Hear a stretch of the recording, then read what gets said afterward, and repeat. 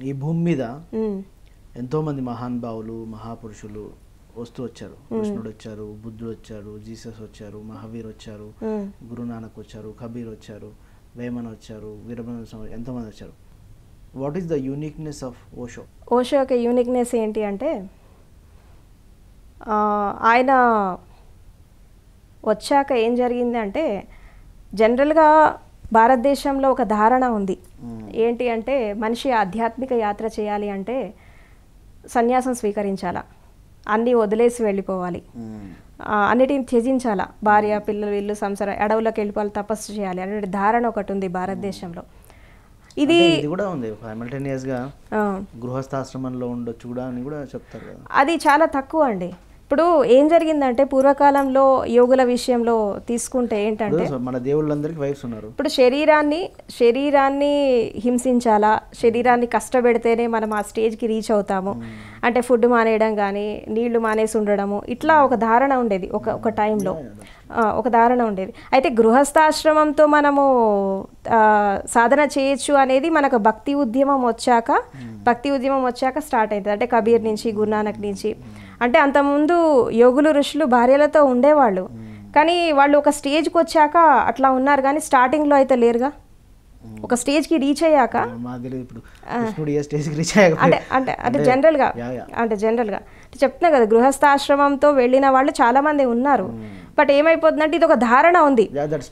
మధ్యలో అంటే ఆధ్యాత్మికత అంటే సన్యాసం. సన్యాసం. సన్యా అన్ని వదిలేసి వెళ్ళాలా? వైరాగ్యం. వైరాగ్యం. ఇట్లా వెళ్ళాలి అన్ని వదిలేస్తేనే అంటే వైరాగ్యం అని అదొక అదొక ధారణ ఉంది. ఇప్పటికీ ఉంది అప్పుడు కూడా ఉంది.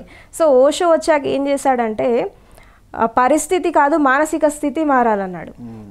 ఇప్పుడు ఈ మైండ్ని తీసుకె మైండ్తో ఉంటూ మీరు హిమాలయాస్లో ఉన్నా ఇంట్లో ఉన్నా ఒకటే అంటాడు.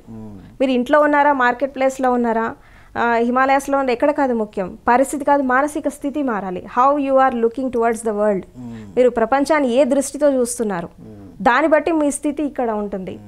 కాబట్టి ఒక ఒక కొత్త ఒరవడి తీసుకురావడం జరిగింది. దాన్ని నియో సన్యాసం అంటారు నవ సన్యాసం అంటారు. ఈ- నవసన్యాసంలో నవ సన్యాసంలో ఏంటంటే ప్రపంచంలో ఉంటూ అన్ని రెస్పాన్సిబిలిటీస్ ఫుల్ఫిల్ చేసుకుంటూ కూడా మనిషి ఆధ్యాత్మిక సాధన చేయొచ్చు. అండ్ ఇది ఒక కోణం ఇది ఒక డైమెన్షన్ సో ఇంకొక కోణం ఏంటంటే ఓషోలో ఇంతవరకు భూమి మీద ఎంతమంది జ్ఞానులు పుట్టారు ఎంతమంది సత్పురుషులు పుట్టారో వాళ్ళందరినీ మళ్ళీ తన వాణి ద్వారా జీవింపజేశాడు. ఇప్పుడు ఫర్ ఎగ్జాంపుల్ పరమశివుడు ఉన్నాడు. పరమశివుడు విజ్ఞాన భైరవ తంత్ర అనేటటువంటి గ్రంథాన్ని రాశాడు. పార్వతీదేవి దాని ద్వారా జ్ఞానోదయం పొందని ఏ హిందూకి తెలియదు ఇదికే నమ్మ నాకే తెలియదు అసలు. అంటే తెలిసిన వాళ్ళు ఉంటారు బట్ ఏ హిందూ చాలా రేర్ అండి. చాలా రేరు ఇప్పుడు అట్లా తెలిసేటట్టు అయితే ఈ పూజలు ఎందుకు చేస్తారండి? సాధన చేసేవాళ్ళుగా? పూజలు చేయొద్దని అప్పుడు అన్ని వేదాలు ఉన్నాయి పట్టించుకోలేదు. వేమన. చూడు శిలల్లో ఉండడు అనేది పద్యం ఉంటది. అవునవును. వేమనకి మనల్ని గుడి కట్టేశారు. గుడి కట్టేశారు. సో ఇది. ఇది అనేది మనల్లోకి అర్థం కాలేదు అర్థం కాదు. సో ఇది ఇట్లా ఏమైపోయిందంటే ఆయన ఇచ్చిన గ్రంథాలు అంటే రకరకాలు. నాట్ ఓన్లీ మన ఇండియాలో ఉండేటువంటి సత్పురుషులే కాకుండా జెన్ మాస్టర్స్ కావచ్చు. ఎంతో మంది ఉన్నారు. వాళ్ళందరినీ మళ్ళీ తన వాణి ద్వారా జీవింపజేశాడు. అంటే వాళ్ళ యొక్క ఫిలాసఫీ ఏంటి వాళ్ళ తత్వం ఏంటి? అంటే ఆయన ఏం చెప్తారు అంటే ఓషోకి నా మార్గంలోనే అందరూ నడవాలని అనుకోలేదు తను. అంటే కొంతమందికి బుద్ధుడు అంటే ఇష్టం ఉంటుంది కొంతమందికి శివుడు అంటే ఇష్టం కొంతమంది కబీర్ అంటే ఇష్టం. సో అందరి మార్గాలు చూపించారు. మీరు ఏ మార్గంలో వెళ్ళినా అంతిమ లక్ష్యాన్ని చేరుకోవచ్చు. సో అట్లా ప్రతి ఒక్కళ్ళ మార్గాన్ని చూపించడం జరిగింది. సో దట్ ఏంటంటే తన దగ్గరకు వచ్చిన ప్రతి మనిషి కూడా ఖాళీ చేతులతో బయటకు వెళ్ళద్దు ఇది మన ఫిలాసఫీ కాదు ఇది మన దేశంలో లేదు అని చెప్పి వెళ్ళకూడదు. సో ఏది నచ్చితే ఏ రూట్ నచ్చితే ఆ రూట్ సెలెక్ట్ చేసుకొని ఆ మార్గంలో వెళ్ళి అల్టిమేట్ గోల్ రీచ్ అవ్వచ్చు. ఇక ఓషో విషయానికి వస్తే ఓషో రూట్ ఏంటి మరి? ఓషో విధానం ఏంటి అంటే ఆయన నాలుగు మార్గాలు చెప్తారు. ఒకటి ప్రజ్ఞ రెండవది ధ్యానము మూడవది సమాధి నాలుగవది ఉత్సవం సెలబ్రేషన్. Last last celebration. అంటే ఎవరికైతే ప్రజ్ఞ ఇప్పుడు జనరల్గా బుద్ధుడు ఏం చేశాడంటే ప్రజ్ఞని లాస్ట్ పెట్టాడు. శీల సమాధి ప్రజ్ఞ అన్నాడు బుద్ధుడు. ఈ ఓషో ప్రజ్ఞని ఫస్ట్ పెడతాడు. ఎందుకు పెడతాడంటే ఇక్కడ ఒక విషయాన్ని మనం కరెక్ట్గా అర్థం చేసుకోలేనప్పుడు కరెక్ట్గా దాని గురించి మనము దాని గురించి మనము తెలుసుకోలేనప్పుడు మనం దాన్ని ఆచరించలేమంటాడు.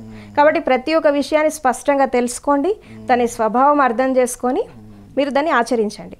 సో అందుకే అండర్స్టాండింగ్ ఫస్ట్ నెక్స్ట్ ఎవరికైతే ఒక జీవితంలో ఒక సెర్చ్ ఒక అన్వేషణ ఒక అండర్స్టాండింగ్ వచ్చిందనుకోండి ఆటోమేటిక్గా వాళ్ళు మెడిటేషన్లోకి ఎంటర్ అవుతారు. మెడిటేషన్లోకి ఎంటర్ అయితే నెక్స్ట్ సమాధిలోకి వెళ్తారు. సమాధిలోకి వెళ్ళినప్పుడు ఎప్పుడైతే మనం అల్టిమేట్ ఎక్స్పీరియన్స్ మనకి ఎప్పుడైతే జరుగుతుందో so life will become a celebration right అంటే జీవితం అంటే ఆధ్యాత్మికత అంటే వైరాగ్యం కాదు వైభోగం అని చెప్పారు. చెప్పారు. అంతే కదా. లైఫ్ ఇస్ అ సెలబ్రేషన్ ఇప్పుడు శ్రీకృష్ణుడు అదే చెప్పాడు కదా లైఫ్ అంటే లీల అన్నాడు ఇట్స్ ఎ ప్లే. రాసలీల.